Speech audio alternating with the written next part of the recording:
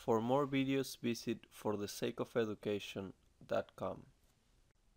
Alright guys, let's do this problem that says a particle travels along a straight line with a velocity of v is equal to 20 minus 0.05 s squared, where s is in meters.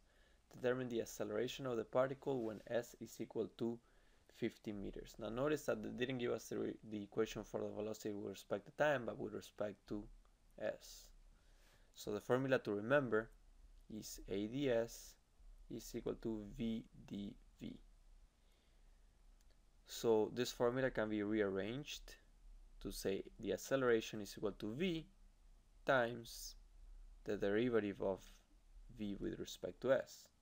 Now notice, we already got V, we got this and the derivative of v with respect to s is easy to find. All you gotta do is derivate this part of the equation with respect to s. So dv ds is equal to negative 0.1s. I just derivated the top with respect to s. So now we got dv ds. So the acceleration, right here in the formula, we're to replace the v with this.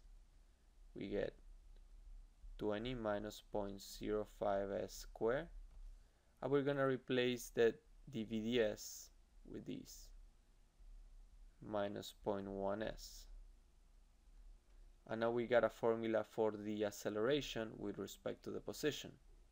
So all you got to do is plug in s for this 15 here and this s right here and you solve for the acceleration. And you get that the acceleration when s is 15 is equal to negative 13.125 meters per second square.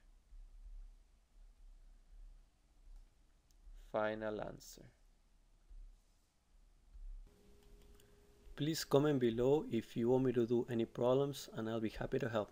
Thank you.